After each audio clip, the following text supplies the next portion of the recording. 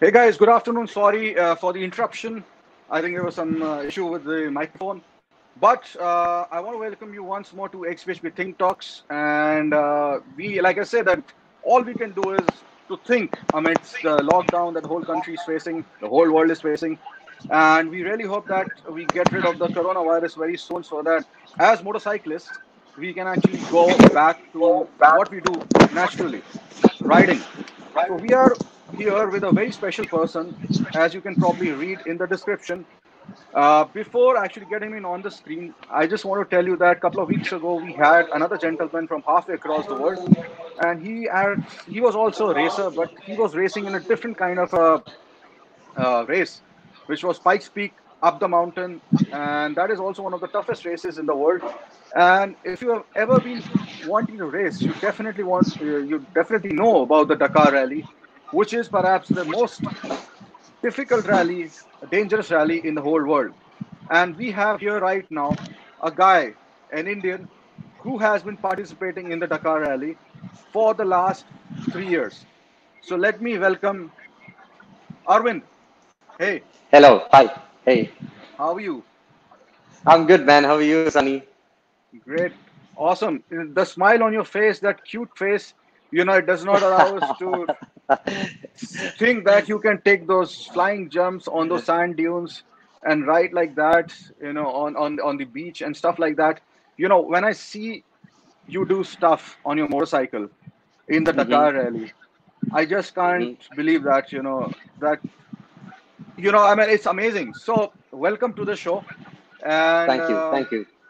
Most of the people already know that you are the, I think, the only second Indian to uh, participate yes. in Dakar and the only Indian to complete the Dakar rally, right?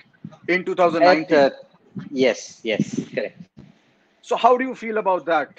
How do you feel about yourself? Oh. If you see yourself from outside, would you idolize yourself? Uh, I feel accomplished. You know, I've been uh, I've been wanting to finish this from the past three years, so been been a bit of uh, hard uh, way up there, but uh, I feel good about it. I mean, that's a very you're being very humble right now. I mean, you know, it's a nation of 1.3 billion people, and there are only two of you. Yes. Two Indians only who have gone into the Dakar. So I am sure that it must be something more than just little tough or just little hardware to the top. You know, and, and, and yes. obviously you cannot say that uh, in in a, in a mere few words. People have to walk the talk, right? So yes. let me ask you that how did you start riding motorcycles and when did the spark of racing you know and, and, and hence you know racing in dakar came about? Ah when i started riding bikes and scooters and i was maybe like 12 years old i would steal my dad's scooter out uh, from my uh, from my house and uh, push it a little far away and then start it and ride it around. But uh, that's how i started riding uh, scooters and bikes and all of that. Right. but uh, I started racing when I uh, when I was in my second first year uh, degree. That was in 2005. Uh, I was inspired when I was in my 10th standard. I was inspired by uh, C. Vijay Kumar and Santosh and all of them. They had come to Manipal and there was a supercross which happened in the uh, in a stadium here. So that is when I got really inspired that uh, you know I wanted to do something like this, and that spark of motorsport actually came alive. But Right. It, it was not until 2005 that I did something about it because uh, 2004 is when I got my first bike. Uh, my parents uh, had uh, put me under the challenge that if I scored more than 80% in my PU, they would buy me a bike. So I scored about 84.7, and uh, that's when I got my first bike for my degree. And wow. Uh, from 2000, yeah, 2005 is when I started riding racing actually uh, I started uh, with dirt track, that is uh, dirt track racing, and then slowly graduated my way up to supercross and rallies and and all the way to the Dakar. Wow! So actually, you started racing relatively uh, older, like 22, if I'm not wrong. 21. 20, 21. All right, yeah. So, yes. you know, a hard question here. Like you are in your middle 30s right now and there is a saying that you know it's there is a certain age still when you can you know reach your be at your a game like you you know Correct. you said once in one of your talks earlier yeah. so what do you think yeah. about that how how long can you fight age biological age that is and how Uh-huh. difficult does it uh, keep getting? it all depends on how badly you want to do something and how uh, how much are you willing to you know uh, persist and continue doing it. Uh, depending on how disciplined you are in your life and uh, how how strong your belief in your goal is. Uh, to give you a live example my teammate Mika Metge is 40 years old and he won uh, stage in Dakar last year. So you know uh, age is just a number and it, it, it all depends in your belief and your thought process and your will to do something and your persistence in getting it done Wow, age is just a number, and you know, uh, funnily, racing is also about numbers. Who came first, Yeah. what time? There have been close calls and stuff like that. So, you know, Yeah. uh, before going ahead, you know, I would like people to know more about you. So we have got Yes. a collection of photos, and, and I'm going to Uh-huh. show one photo by one by one. And if you can just Okay. very, very quickly elaborate about each photo, that will be really nice. Okay. So here we go. So first Yes. one let's go is Yes. this one. Oh yeah, this is in in the year 2006. This was my first national cha- uh, championship round ever in my life, which I uh, rode as a privateer, and the only national race which I rode as a privateer. Because until 2005, I was riding as a privateer, but then I got the lead to uh, lead through someone that if I uh, do really good in uh, national championship, I would get a chance to ride for TVS. And this is this is when it all changed. 2006 year March first round happened in Mangalore, fortunately, and I finished ahead of TVS Motors uh, Racing, and that is when TVS spotted me, and I've been with them ever since. Wow, so perfect strategy for TVS. The guy who beat us, let's get him. yeah, yes, no, the, the the whole the Um, whole thing was if I was leading the championship, I would get a run from TVS, and that's why uh, that's why I made it sure that I got a good. Uh, I put myself in a good position in the beginning of the championship, so I could represent them further. Wow. So, guys, this is how you build your resume. Go out there, show what you can do, and that's how you get into races, right? All right. Yes. So, uh, this one. Yeah. This was uh, 2010. I uh, that was the year when I started going to America and getting myself trained for Supercross extensively. And uh, this uh, this was a very good opportunity for me to meet uh, Mrs. Stefan Everts, uh, 10-time world champion, MXGP. And uh, through our uh, very good friend, Mr. Selvaraj Narayana, who was uh, then the director for racing for KTM, and got a lot of inputs from the world champion, and it, it was really ecstatic for me to meet such a such a legend, you know. And that is uh, that is one of the period in my life which uh, kind of changed uh, my approach towards sports and uh, uh, motorsports, and how I approached it, and how my uh, racing also improved.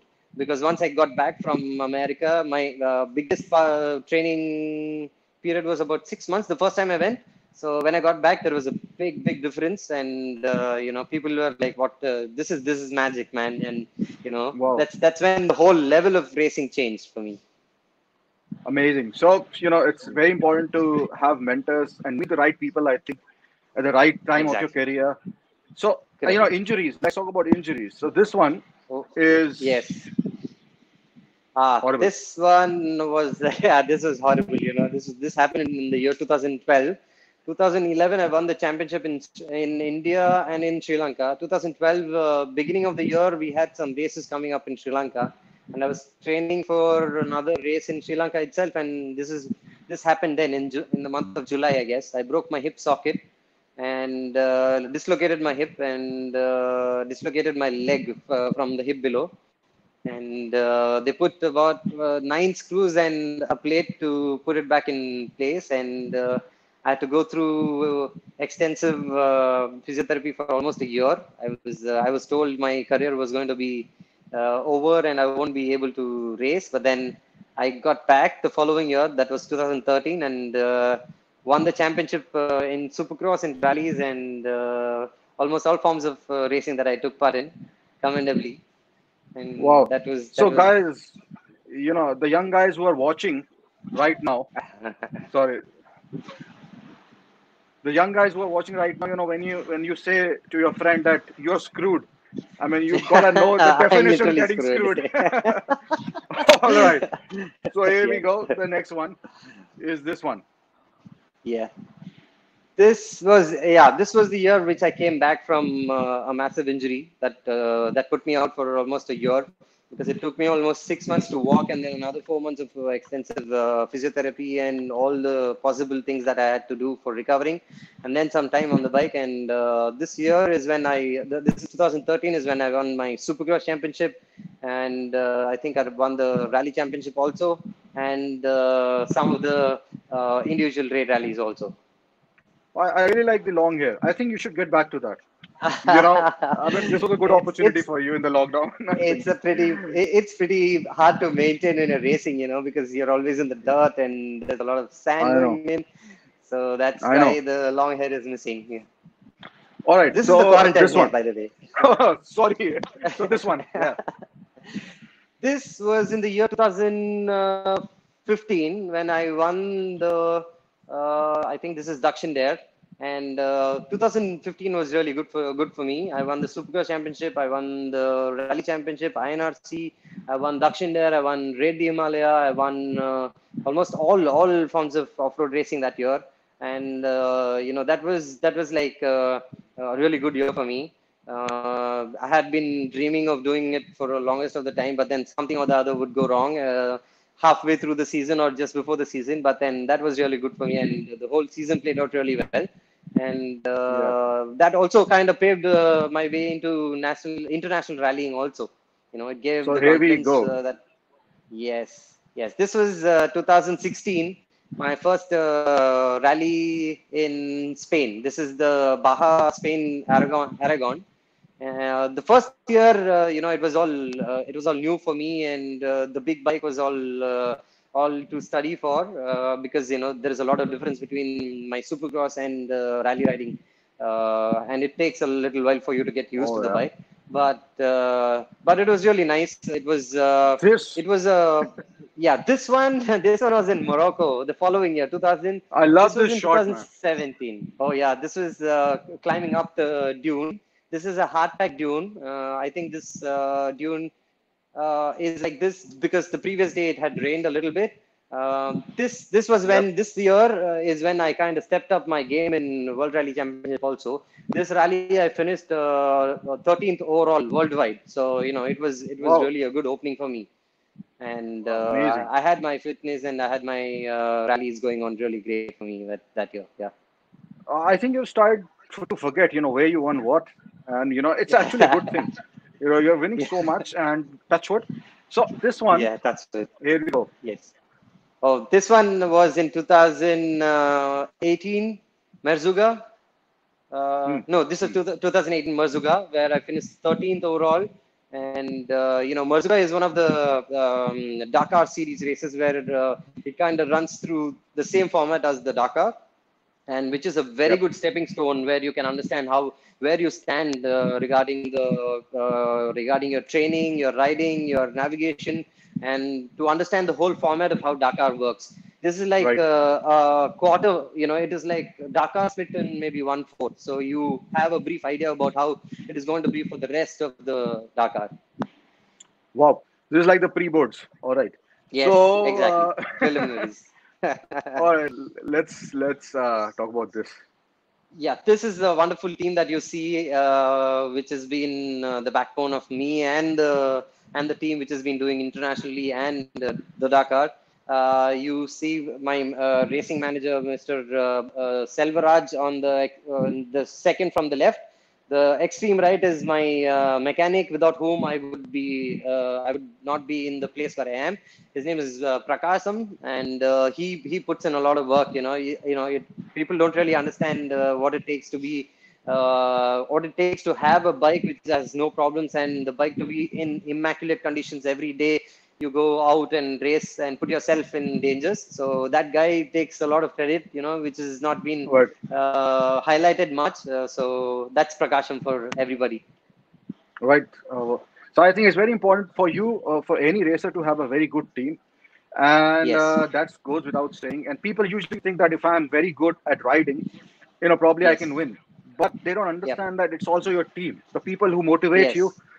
You know, so correct it, it's Great. it's not just you it's it's it's a lot of other elements and efforts of the whole other uh, you know whole lot of people around you who who also share the same goal for you you know yeah, absolutely. So this one is one of my favorite pictures that I saw. yeah What is this? Thank you. Thank you. This was 2019 when I finished the Dakar, uh, you know. Uh, this this this moment, man, uh, I, I I I wouldn't trade this for anything else ever in my life because I had been dreaming uh, to get to this finish line and hold this flag up high for almost three years, and I was I was failing at it. Uh, the first year I failed miserably. The second year I did really great until I broke my leg. But uh, you know, I think uh, third time was uh, charmer, and this uh, this was the third outing uh, for me in Dakar and Peru, and this was right after I finished the last stage, and we got to the group. Can you, if you if you see at the back, you can see a Yep. big bunch of riders already who finished there. So it's like a regroup where you come, stop, celebrate, and then Right. you go back to the bivouac. You you get a convoy uh, ride for uh, the finish. Wow. Oh, it must be a tremendous feeling to hold a flag which represents 1.3 billion people. I mean, I cannot even imagine. So I I, I- I Oh. can only say that I'm having goosebumps right now. And uh, thank you for making India I proud. feel fortunate, man. I feel fortunate. You know, I feel so lucky to be doing what I am doing and uh, representing the one country and representing my team because uh, you know uh, I know a lot of people even want to do this, but uh, you know it, it's a lot harder than just said uh, and done. So I I feel really fortunate.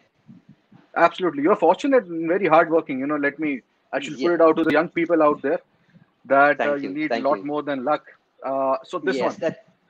Oh, this here, uh, the the guys right uh, next to me are uh, Mikael Metge in the middle, and the extreme is Adrien Metge. They both are brothers, and they ride for uh, Sherco uh, TVS Factory Rally team. Uh, they both are my mentors. I stay with them. Uh, you know, Adrien was the the guy who trained me initially for the first year, and I stay with Mika Metge, and you know, I can't I can't uh, thank these souls enough, man. I, I feel so really fortunate uh, to have and Right. have them in in my life because uh, it's rallying in uh, international and uh, Dakar is a complete uh, different animal altogether. So you know, I got a lot of in, insights and um, my life was made a lot easier because I had them in my life because you know it was it was shown to me in an easier way and it was given to me a lot easier than uh, than the harder way you know. Everything was so organized. Yeah. even if i Yep. had even if i took a wrong step you know i had already i always had these guys to correct me and put me back in the right uh, direction. And uh, they really made my life a lot easier than it could have been for me. Yeah. Oh yeah, absolutely. You know, if there are politics within a team and you know within your teammates, it can really you know bring you down. You know, and and, and correct you're fortunate in that regard. Absolutely. yeah So I, I you Yeah. know I want to show you one picture which uh, is one of my favorites, and Okay. here I take the chance. And this is me with you Oh. in 2015. yeah this is yeah this is back at the factory Just yeah. one of, one of your Yeah. fans. You know. Yeah. All right. So let me get this photo out of the way. Appreciate it. Appreciate All it. now let's get to uh, some other questions. Now, Yes. um, you know, you, you can, there is no possible answer to it, but what does it feel to be competing in the Dakar? Mm-hmm. And how actually hard it is to Mhm. compete, uh, prepare for the Dakar? It uh, it feels ecstatic to be competing in the Dakars. It's a it's uh it's one of the biggest dreams of uh, mine coming true. So it really feels ecstatic, and it's uh, it's really uh, um, you know it's uh, how can I say it, it feels really great to be there and doing it. Uh, it's it's a tough job. It's a mammoth of a race, and uh, you know it, it really uh, looks nice. And uh, uh, the the videos that you all see is only the good parts of the racing. Uh, the, the I'm rally sure. the rally goes yeah the rally goes to very treacherous terrains and uh, it's it's the length and uh, the consecutiveness of the difficulties that kind of puts the you know puts the rally in such a peak uh, for everyone you know? Uh, because it's Yeah. uh, it's a mammoth it's a mammoth of a race and you got to do maybe 400 to 500 kilometers on an average 600 kilometers on an average for 14 days without uh, with maybe maybe hardly six or seven hours of sleep. So you know it's it's uh, it's not easy at all. It's very physically taxing and it's uh, more so mentally taxing also because you're constantly fighting with your own self and uh, you're uh, you're almost uh, uh, by yourself for almost four or five hours in a day uh, struggling through deserts Wow. horizon to horizon nothing not not even not even a single soul to talk or uh, to to converse with. So it's it's really uh, a really hard game to uh, be a part of. You know, be very truthful. Do you actually feel like a superhero when you're flying through the desert and stuff, or you don't? Ah, I would. No, not. no, I've been racing for. I've been flying and jumping and uh, racing for almost 14 years. You know, it doesn't really feel different. Uh, it's just that uh, you know you got to you got to make the right choices. You know, sometimes uh, the the feeling of making you fly might you know even catch you in a wrong uh, wrong spot. So you got to be really careful and you got to be really attentive all the time. And the minute you kind of take your uh, focus off, it, it is going to bite you. So you can't really take it for granted.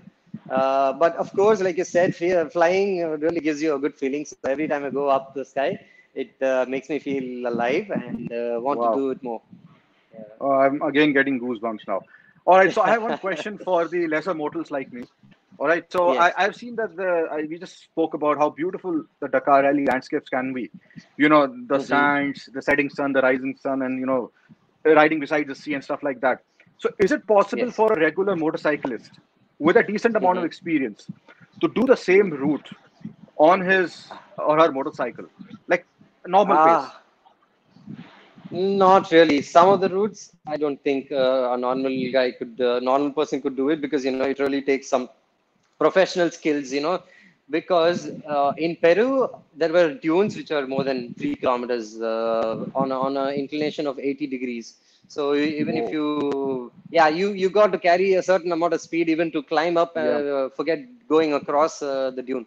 So you know it, it maybe Yeah. maybe maybe 30% of the of the of the race where uh, it's only uh, routes that you got to uh, deal with you can probably do it but uh, some places where the dunes and some places where the trial sections are is really hard you know. Even even the most like professional this, guys maybe. yeah yeah yeah. So even the most professional guys find it hard. So you know for, for a normal guy to be doing that will he can do it but not uh, without having prior training for uh, for a, for a longer period of time.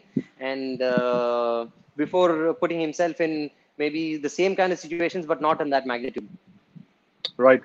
So, uh, you know, coming to one more hard question, perhaps the hardest of all, or second Okay. hardest maybe. The 2000 edition, uh, 2020 edition saw yes two fatalities, Mhm.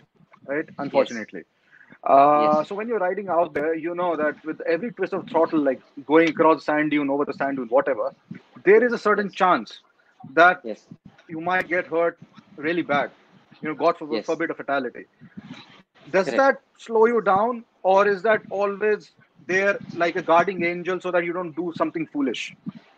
See, like I said, that only makes you work more harder and uh, keep your focus more uh, straight on point because you know you're always always on the lookout for any any uh, stone or any dip or anything that can catch you off guard.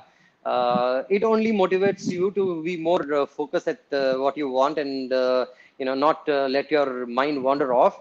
Uh, and like you said, it is it is in a way uh, a guardian angel uh, for you not to do, be doing something stupid. But even then you know there is there is uh, chances chance that uh, something might catch you off guard but uh, the way to deal it is uh, to look as uh, forward as you can and uh, read your road book properly because in the road books uh, most of the most of it mm, most of the dangers are written so if you can read your road books you can already be prepared for what what you're going to deal with ahead so you know you can you can avoid these kind of circumstances and injuries and fatalities also Right. Okay. Uh, so Aravind, uh, sorry. Um, so which is the most important part of technology or tech in a motorcycle that you think Mhm. helps a rider get through the Dakar? Ah, uh, technical part, I think, uh, on the whole, if I should say, uh, the whole bike should run without any technical problems, you know. The most important part, like let let's say traction most- control. I don't know, whatever. Yeah. ah, the most important part, I think, uh, for me, power and suspension. You Right. know, yeah. If you, if you have good suspension, you can really do what you want to do. Uh, otherwise, you're always on the compromising end that uh, okay, uh, tension or a bad tire or uh, lack of power or something like that. Yeah. So on the whole, the whole bike has to be really good, but uh, I think Yeah. suspension plays a very major role. Right. So I just mistakenly say traction control. Obviously, you don't use traction control, right? Yes. yeah, no, no, no, no. and is ABS control also no electric aids. No No, ABS, no traction, and no electronics at Right. all in the bike. Yes. So this is something else. You know, have you ever raced on the road, like road racing? I mean, not on the road, like track racing, tarmac racing. Have you ever done that? Ah, I have actually. You know, uh, I used to do uh, um, do commercials for RTR uh, brand, and uh, I've done few of them in uh, MM, MMSC, MMRT now, and uh, even in uh, even in Buddh International Right. So I Okay. have tried my hands in uh, on road road uh, circuit racing also. But then you know Right. what happens with me is I think I'm uh, uh, on slightly on the heavier side for road racing because all all my counterparts on uh, road racing teammates they are all maybe 45 50 mm. kilos and i am maybe close to 70 kilos so even Oh, if i okay. uh, even if i push my limits and uh, catch them in the corners when they come to the home stretch they just look at me and say wave goodbye and you know you know go Yeah. off. so yeah so, So that's probably more true in, uh, in like uh, lower capacity motorcycles. yes, so yes. um, yeah. All right. So you know, um, tell me one thing. Which is your most memorable one single moment in Dakar? Perhaps like and seeing an animal cross or something like that. You know, some something funny at the same, same time memorable. Besides finishing, Uh, besides finishing. funny i think uh, uh, Memorable. funny and uh, memorable memorable uh, was uh, you know uh, helping uh, getting uh, help from uh, a co uh, competitor because I, on the ninth day or something i was uh, i was stuck in right after the dunes i was stuck there because of my uh, uh, regulator problem so my battery wasn't charging and my fi wasn't uh, working so the bike uh, went off Right. and then I luckily I had a spare regulator in the bike. Uh, thanks to Prakasham, he always puts two regulators. So I unplugged the one which was bad and I put the new one on. And then I was, uh, wait, this took me almost 40, 45 minutes for me to fix the bike already. So by by then uh, I had another competitor who I stopped him. Luckily he had jumper cables, so we stopped his bike and put the jumper cables to my batteries and started the started the bike. And uh, then I rushed uh, towards the finish. So that is one of the memorable moments where I literally thought my Dakar was over, and uh, I was I was literally in, in tears, man. I was like, two years, uh, you you know, I, I went down with injuries, and the third year I was doing great. I almost reached to, to the end, but uh, uh, ninth stage this happens, and I was I was I was. I was in a mixed uh, feeling place, but uh, I think uh, God heard my prayers, and I had this competitor who helped me out that that uh, is one of the funniest and memorable moments I should I, I should say. Well, I mean, you're really a cool hat, you know, as I say, because you're. If this seems funny to you, I think you know, I can just imagine what you must be going through. Uh, just it's right over there, you know, and um, yeah. So you know, have you ever considered the Malle Moto Mhm. class in, in Uh, Dakar? right Which which I would want right to tell now- people uh, because a lot of them don't know. So if you can just Yeah. tell about the Malle Moto class and then talk about it. Malle Moto class is uh, is a, is a class is a competitive class where uh, a rider has to have uh, have rider has no uh, team or uh, support from anybody else. He himself rides, he himself fixes the bikes and does all the mechanical stuff and uh, sleeps in the tent and has absolutely no team support uh, throughout the race from the start to the finish. So this is uh, this is the Malle Moto class. There are a lot of guys who who actually do it, but most of them who get to Malle Moto classes have been professionally riding Dakar for uh, a longer long period of time. Um, they've been a part of some or the other team, and they've been they know completely how Dakar works, and they know uh, in and out of it. So they they are the jack of the trade. So it makes uh, makes it kind of easy for them to do it, but then it, it is really really treacherous because you know on on, um, on average you're doing 700 kilo, 600 kilometers a day. Come back, fix your bike, do your road book, go eat lunch, uh, uh, shower, uh, fix your kit, put everything, on, uh, you know, organize everything, put it back in the truck. The truck also is from the organizers, you know, so there is absolutely no team support or whatever, whatever whatsoever. Uh, Right. So it is one on one hell of a ride, and uh, it's not easy. I I am not considering it uh, yet, but uh, let's see if the opportunity presents itself uh, in the future. Uh, definitely, uh, I will. Well, so there's a question from Mr. Ravi Chandran, which we will pick up later on. Uh, but at the Uh-huh. moment, can you uh, tell me that you know uh, what is your biggest source of strength and support, and most importantly, what role does has TVS Racing played in uh, in your life and your career, and how how they're changing lives of other people, uh, TVS Racing. Yes, uh, my biggest source of strength is uh, my parents and my family. I should say. Uh, my mother was uh, an, an, athlete herself, so they've been through hardship also, and I've learned a lot of lot from them. And I've learned how to endure life and how to endure and uh, come out with flying colors. So uh, the strength comes from there.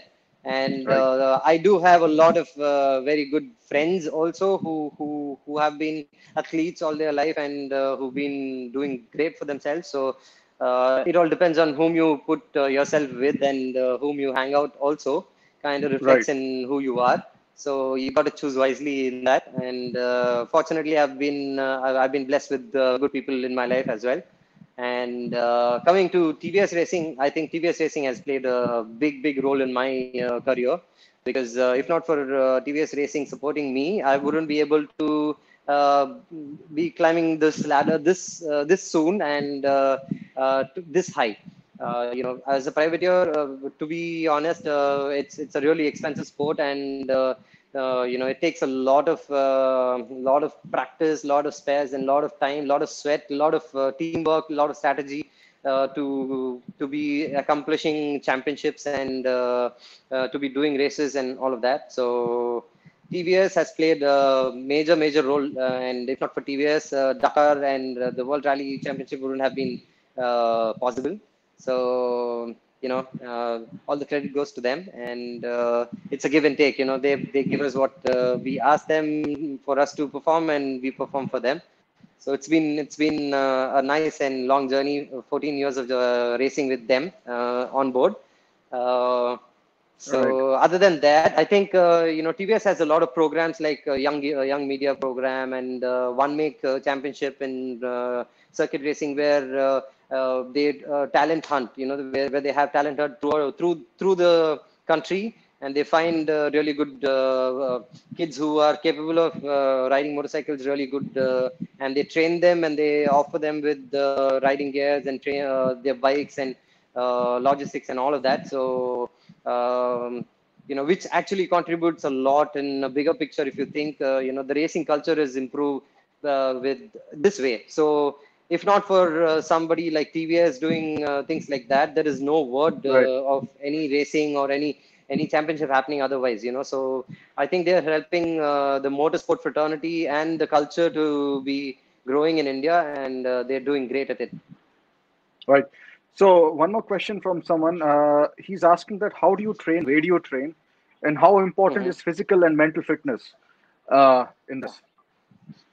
oh, it plays hand in hand, uh, physical fitness and mental fitness also. But uh, it it comes uh, comes across as uh, you know if you're if you really have eight packs and if you have big lats and if you have big muscles, you can do it. But uh, that doesn't work that way. The the mental uh, strength also has to be at par because you know after a level it becomes 80% mental so even if you have the strongest body and if your mental um, uh, capacity is not good enough and it's not matching your, what your body can do, you you won't be able to succeed in uh, uh, in doing what you want and achieving what you want. So it's it's a good combination of uh, both physical and mental, I should say. Right.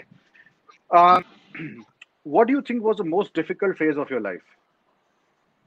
Ah, uh, most difficult phase of my life, uh, I think coming back from an injury. You know, I've, I've been hurt quite uh, quite a bit. Uh, I've had bad injuries for uh, quite some time now. So it's always hard to, uh, you know, uh, initially when you get hurt bad, you don't really want to get back to racing and uh, don't want to do anything of that sort. You just want to keep away from hurting yourself. But then after a while, after you start getting a little better and moving around, is when you right. start missing what you really want to do uh, that is when you miss that uh, the excitement that you get uh, and the, the feeling that you get when you ride uh, the motorcycle because it's only when you when i ride the motorcycle is when i forget everything else otherwise there is something or the other bothering me or you know there is something yeah. or the other which i'm after or i'm chasing or i'm not satisfied with i want more of it i i'm not having enough or something or the other which is going on in my head it is only when I'm on the bike when I'm completely only with the bike and the feeling of uh, riding and you know it's it's like music. You know, it just plays and I'm I'm I'm I'm in a total different uh, trance altogether. So I I start missing that. I want and I want more of that, and that is when uh, uh, you know you, you start working towards getting back but the hard part is getting uh, getting hurt and uh, being idle for uh, a long period of time where you can't do what you want to do. Oh, that is very, very well described. I think you should start writing a book. It's about time. All right. So uh, this wasn't a joke, but anyway. So maybe you already are. Thank you. Won't tell me, right? Thank you. but uh, so you know, uh, tell me that I started my first question. 1.3 billion people, and only two of them have been in Dakar. Mm-hmm. So what is Mhm. the problem? What is the roadblock, pun intended, in Indian motorsports, and why are Primary people pro- aren't getting into this? primary problem is uh, lack of racing culture in India. Uh, you know, not not many people understand what racing is because you know even my neighbors in Bangalore wouldn't uh, really understand. Even my relatives, for for that matter, would ask me when are you going to race Rossi. So you know, I Whoa. I race a complete Okay. different form of racing. Alright. You know, how how would I even go? Uh, so Oh, that, would be interesting. Maybe what- you can go to his ranch. yeah, I can I can race him on on the flat tracks and uh, dirt tracks, but not the circuit. You know, so I was Yeah. I was just trying to make you understand that uh, this is what the kind of ideology that they have. When they say racing, it's just going taking a bike and going fast. That's about it. They don't really understand the formats of it. There is there is Yeah. different formats and it's done differently. Uh, so which which which shows the lack of culture, racing culture in India.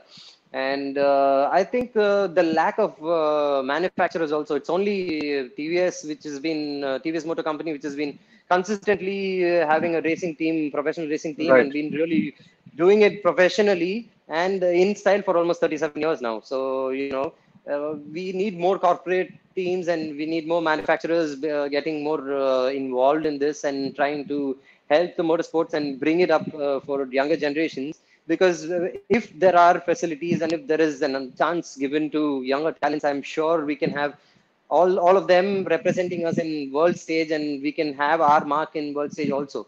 It's not uh, Right. by chance that other other countries are uh, just be dominating uh, in, you know in the world stage. It's it's because they are made uh, made available with the facilities and the teams and and the manufacturers are actively you know taking part in creating this uh, culture and uh, creating this habit for the younger kids. So when they when they turn uh, maybe 15 16 they're world champions you know.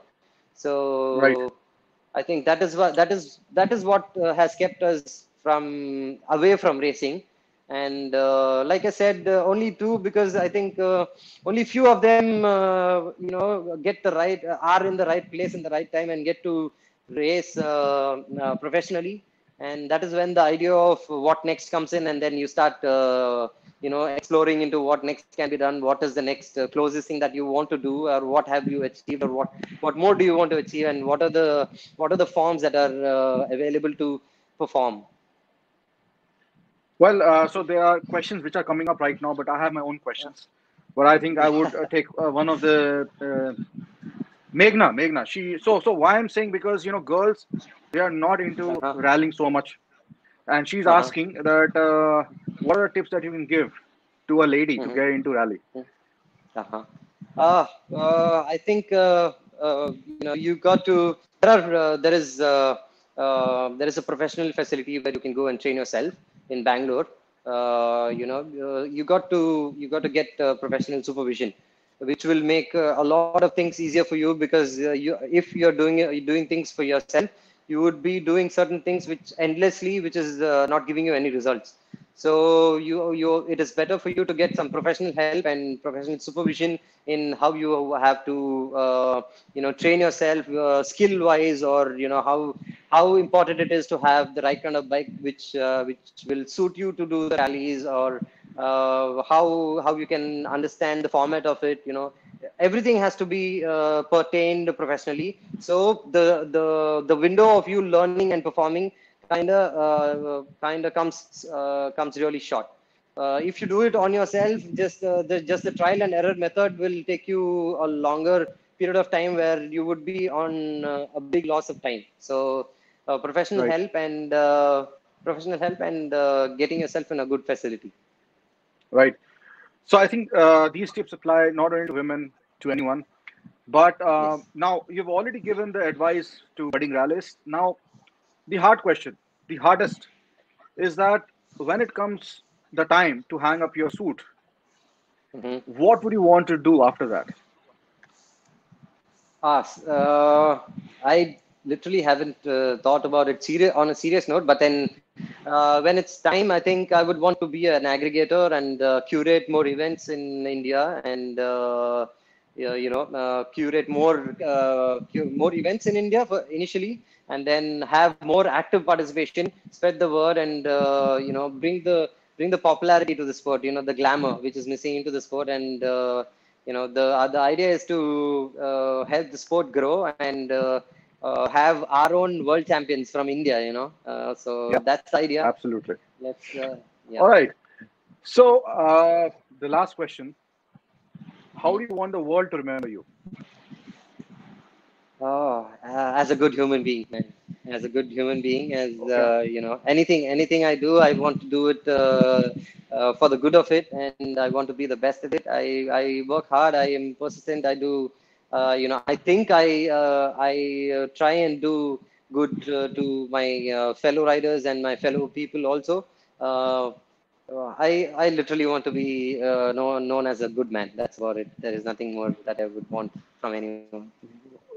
That's so sweet. I mean, that is a perfect answer. Sweet and simple. So, guys, there you go. Uh, Aravind, do you want to say anything else before we end this?